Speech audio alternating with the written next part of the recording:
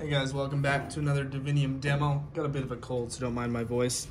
Uh, this is a Rey Skywalker MB Sabers Metal Master, and it's a really special one. Um, the hilt itself is just a KR Sabers one. Uh, I did all the customization.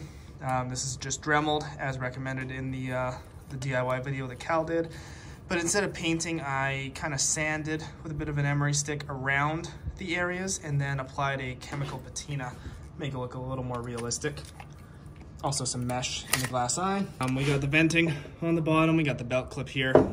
Uh, clamp card is magnetic. It's pretty, pretty straightforward there. Um, this is your power button. This is your aux button, slide tab. So we take out the glass eye. And there's our chassis. It's got a static plasma gate with my static magnet insert. Uh, you can reposition it. It's on a bearing, so if you want, you can you know, slide it around. However, uh, boy, if I can get it back into place now with, with one hand here. I like it centered so it's on display. There we go.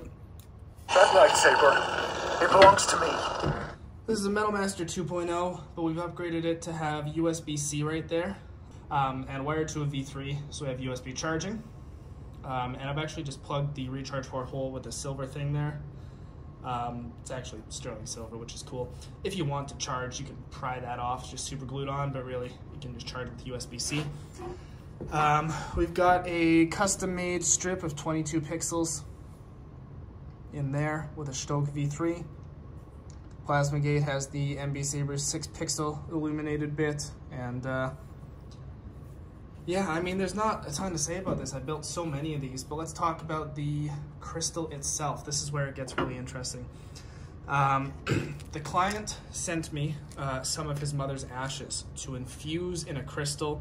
Uh, they shared a love of Star Wars, and he wanted his mother to be at the heart of his lightsaber. So if you look closely, you can actually see, let me refocus this here, uh, the way I did this is I ground up in a mortar and pestle some of the, the ashes, uh, the larger chunks. I, I ground them up into a fine powder, mixed them in with a resin, and printed a crystal, uh, similar to this.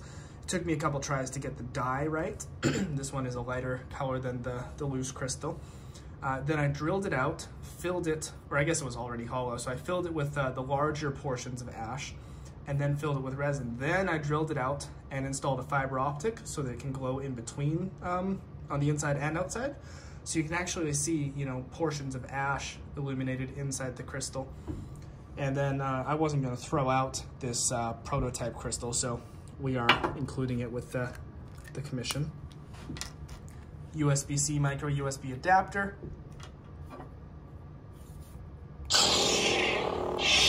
very straightforward, but let's pop it in and turn it on. Show it off a little bit.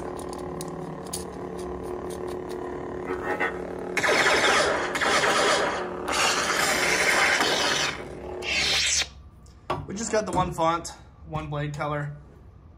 There's, yeah, there's not much else to say. I'm gonna, I'm gonna end this video here and get back to, to work and maybe have a cup of tea. Anyways, thanks for watching. May the force be with you.